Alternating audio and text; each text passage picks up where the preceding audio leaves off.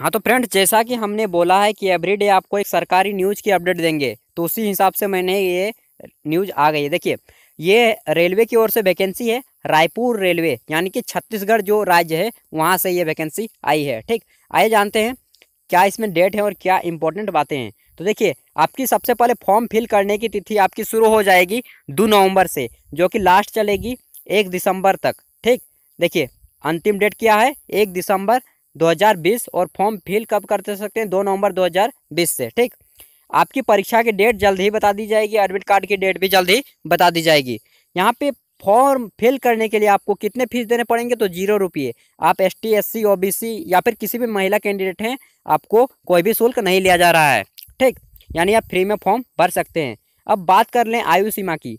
तो एक सात 2020 के अनुसार, यानी एक तारीख सातवां महीना तक आपका कम से कम उम्र पंद्रह वर्ष होनी चाहिए और अधिक से अधिक चौबीस वर्ष। अठारह वर्ष कोई ज़रूरी नहीं इसमें इसमें पंद्रह से चौबीस होता है। अप्रेंटिस में पंद्रह से चौबीस वर्ष उम्र होती है।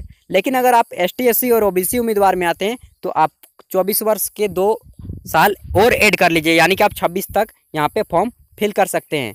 देखिए, रिक्तियों का विवरण हम बता दें। टोटल पोस्ट कितने हैं? चार सौ तेरह पोस्ट हमारे। कितने? चार सौ तेरह पोस्ट अब देखिए, यहाँ पे दो जोन हैं। दोनों रायपुर के ही सामने हैं। एक रायपुर है और एक वैगन रिपेयर शॉप रायपुर। ठीक, दोनों आमने सामने हैं। यहाँ पे सीट देख लेते हैं, जनरल के लिए। संतानवे सड़सठ ई के लिए है, छब्बीस, पंद्रह ओ के लिए है, बहत्तर, तैंतालीस एस के लिए है, चालीस, बाईस और एसटी के लिए है, बीस, ग्यारह। टोटल हो जाते हैं दो सौ पचपन और एक पोस्टें। ठीक अब आइए जानते हैं कि आपकी योग्यता कितनी होनी चाहिए, यानी कि आप कितने पढ़े लिखे होने चाहिए। तो अगर आप दसवीं के बाद आईटीआई कर लिए हैं, दसवीं के बाद आईटीआई कर लिए हैं तो आप यहाँ पे फॉर्म फिल कर सकते हैं, ठीक?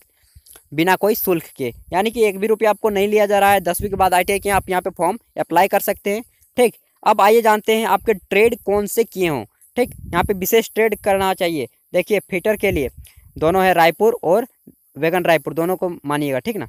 फिटर के में कितने हैं? पचास उनहत्तर। वेल्डर के कितने हैं? पचास, उनहत्तर। इंजीनियर के कितने हैं? दस, चार। फिर बिजली मिस्त्री, यानी कि इलेक्ट्रिकर के लिए कितने हैं?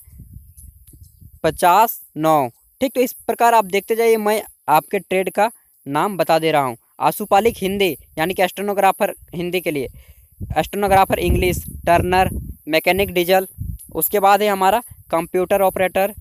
ठीक, मैकेनिक डीजल मैकेनिक रेफ्रिजरेटर और एसी के लिए ये कि जो कि काफ़ी मस्त मुझे लगता है मैकेनिक रेफ्रिजरेटर और एसी। ठीक ना? मैकेनिक, ऑटो, इलेक्ट्रिकल और इलेक्ट्रॉनिक्स। इन सभी के लिए ट्रेड में आप किए हैं तो अप्लाई कर सकते हैं, जो कि मैक्सिमम ये गवर्नमेंट ट्रेड है। गवर्नमेंट आई जिन्होंने किया है, वे ही अक्सर यहाँ पे फॉर्म भर सकते हैं, क्योंकि ये ट्रेड फिटर और इलेक्ट्रिशियन को छोड़ के बाकी सभी गवर्नमेंट में ही होते हैं लगभग।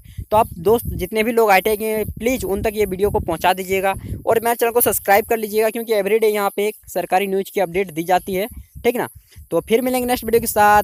आप फॉर्म भरना है तो साइबर कैफ़े में चला जाइए, दस, बीस रुपया, पचास रुपया लेगा मैक्सिमम और उससे ज़्यादा क्या लेगा, ठीक ना? तो सरकारी जॉब न्यूज़ के लिए यहाँ पे चैनल को सब्सक्राइब कर लीजिएगा और यहाँ पे अध्ययन सामग्री या स्टडी रिलेटेड आपको वीडियो मिलते रहेंगे। थैंक यू फिर मिलेंगे नेक्स्ट वीडियो के साथ। Bye bye